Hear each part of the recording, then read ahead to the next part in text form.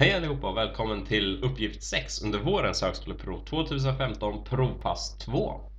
Så den här uppgiften lyder att 4 upphöjt till x minus 4 upphöjt till minus x ska vara lika med 0. Så det här är inte en uppgift jag vill att ni ska spendera lång tid på för ni ska direkt vara säkra på vad svaret innebär. Och varför ska vi då vara det? Jo, och det här är någonting som jag också förklarar väldigt tydligt i kapitel 8 i boken som ni hittar på hpmatte.se. Men det är att när vi har upphöjda tal så här, så till exempel 4 upphöjt till 1 minus 4 upphöjt till minus 1 kommer det kommer inte bli 0. Av den anledningen att för att det här ska bli 0 så måste 4 upphöjt till x vara lika stort som 4 upphöjt till minus x.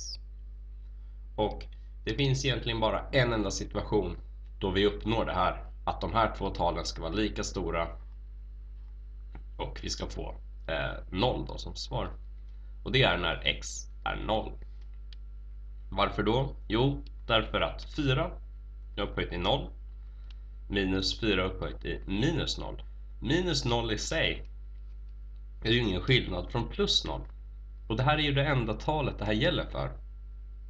Så vad som händer är alltså att vi får 4 upphöjt till 0 minus 4 upphöjt till 0.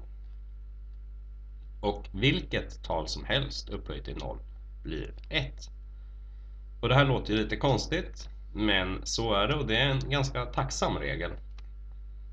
Så att oavsett om vi hade haft 100 upphöjt till 0 eller 9 upphöjt till 0 eller vilket tal som helst hade svaret alltid blivit 1.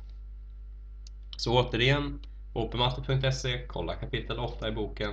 För där går vi verkligen tydligt igenom det här. Och det här ska ni se direkt.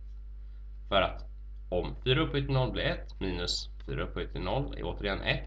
Och det här gäller ju då även för minus 0. Om vi tänker oss det, det är ju ingen skillnad. Och 1 minus 1 är 0. Så rätt svar på den här uppgiften är D.